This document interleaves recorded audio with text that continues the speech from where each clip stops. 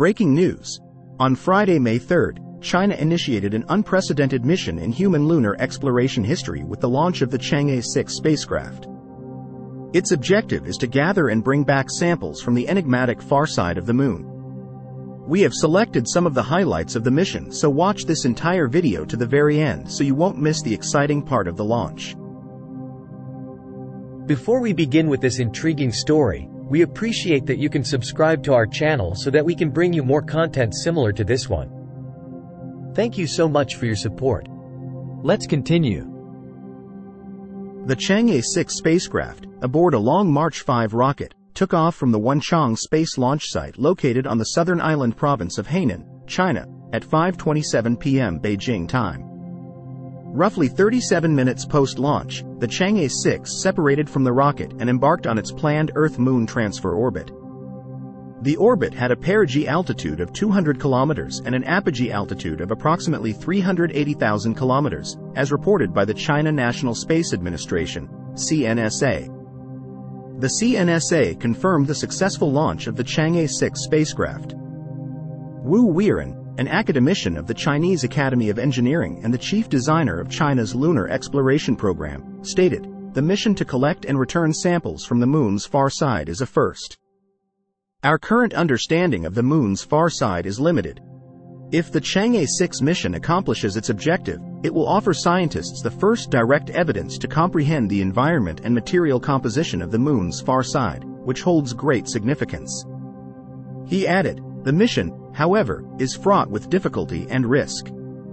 We eagerly anticipate its success. The Chang'e 6 spacecraft, similar to its predecessor Chang'e 5, consists of an orbiter, a lander, an ascender, and a returner. Upon reaching the moon, it will execute a soft landing on the far side.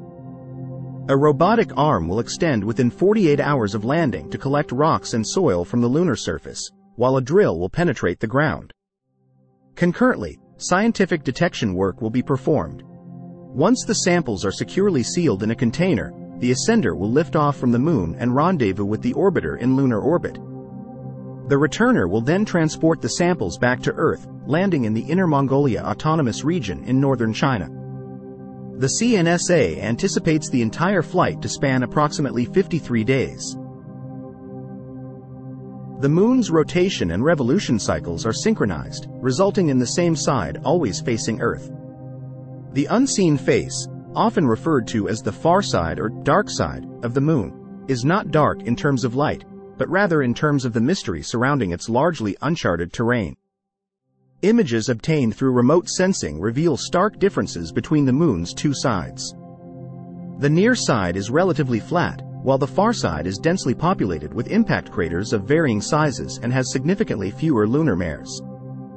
Scientists hypothesize that the lunar crust on the far side is considerably thicker than that on the near side, though the reason for this remains unknown. The Apollo Basin, an impact crater within the South Pole Aitken SPA basin on the Moon's far side, has been selected as the primary landing and sampling site for the Chang'e 6 mission, as stated by Wang Chang, the mission's deputy chief designer. The immense SPA basin, formed by a celestial collision over 4 billion years ago, has a diameter of 2,500 kilometers, roughly the distance from Beijing to Hainan, and a depth of about 13 kilometers.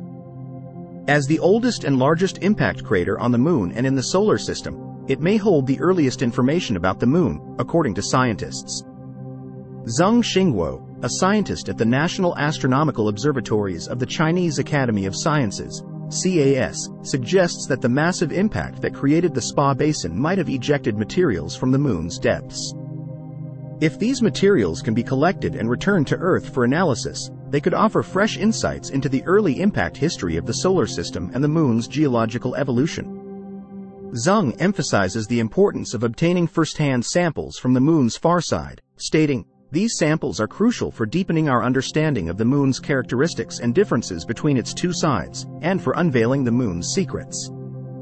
Yang Wei, a researcher at the CAS Institute of Geology and Geophysics, notes that over 300 kilograms of lunar samples have been collected from the Moon's near side during 10 missions conducted by the United States, the Soviet Union, and China.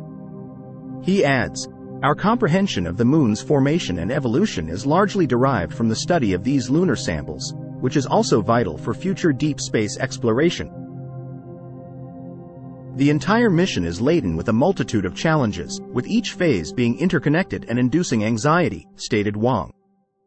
To facilitate communication between Earth and the probe on the Moon's far side, China earlier this year launched the Queqiao-2 relay satellite, also known as Magpie Bridge 2, into a highly elliptical lunar frozen orbit. Despite the Chang'e 4 mission achieving the world's first soft landing on the Moon's far side in 2019, the Chang'e 6 mission still confronts substantial risks. The Moon's far side's rugged terrain presents significant challenges for landing, according to space experts. Wang noted that the Chang'e 6 mission requires new technological advancements in areas such as lunar retrograde orbit design and control, swift intelligent sampling, and takeoff from the Moon's far side. Huang Hao, a space expert from the China Aerospace Science and Technology Corporation, CASC, mentioned that the design of the Chang'e 6 probe is akin to that of the Chang'e 5 probe, which gathered samples from the northern hemisphere of the Moon's near side. However, since Chang'e 6 will land in the southern hemisphere of the Moon's far side, the mission will employ a lunar retrograde orbit to accommodate its sampling task, added Huang. Deng Xiangjin, Another expert from CASC explained that as the Queqiao-2 relay satellite orbits the Moon, there will be periods when the Chang'e 6 probe will be unable to communicate with Earth controllers during its operations on the Moon's far side. We undertook a thorough analysis of data from hundreds of terrestrial experiments and utilized artificial intelligence to enhance the spacecraft's design, thereby improving its autonomous control capabilities and sampling efficiency, Deng stated. Deng added, the quantity of samples that Chang'e 6 can gather is uncertain and cannot be precisely estimated at this time. Our objective is to collect 2 kilograms. The Chang'e 6 mission is equipped with four payloads, developed through international collaboration, thereby offering global scientists more opportunities and combining human expertise in space exploration. The Chang'e 6 lander carries scientific instruments from France, Italy, and the European Space Agency, ESA, Sweden, while a small satellite from Pakistan is aboard the orbiter. Once the Chang'e 6 spacecraft enters lunar orbit, the small satellite will be deployed to perform in-orbit imaging tasks. A laser retroreflector, developed by Italian scientists, will be utilized for positioning and distance measurement in future lunar missions, according to Wang. The ESA, Sweden has developed a lunar surface negative ion analyzer that will detect negative ions and examine the interaction between plasma and the lunar surface. Additionally, a scientific instrument developed by French scientists will detect radon isotopes and investigate the transmission and diffusion mechanisms of volatile compounds in the lunar environment, Wang added. China adheres to the principles of extensive consultation, joint contributions, and shared benefits in its international cooperation on lunar exploration. It is open to engaging in various levels and types of cooperation with countries and international organizations worldwide, based on equality and mutual benefits, stated Zhe Ping, the deputy director of the CNSA's Lunar Exploration and Space Engineering Center.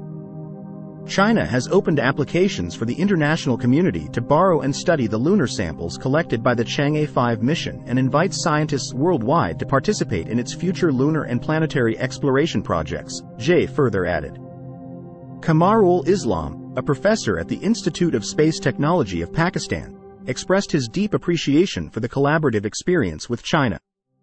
He suggested that smaller countries, unable to venture into space independently, should be given opportunities to conduct space research. We take immense pride in being part of this historic mission, said Pierre-Yves Meslin, the principal investigator for the detection of outgassing radon from France, expressing his anticipation for further space cooperation between the two countries.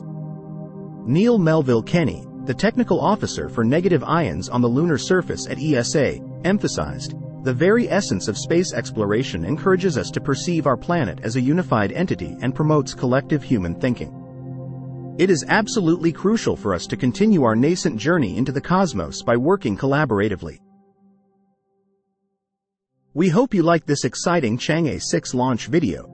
That's all for now and thank you for tuning in. Thank you for watching our China Tech Update. If you like our content, please subscribe to our channel, like, and share our video. We will bring you more similar contents like this one. Thank you again for watching.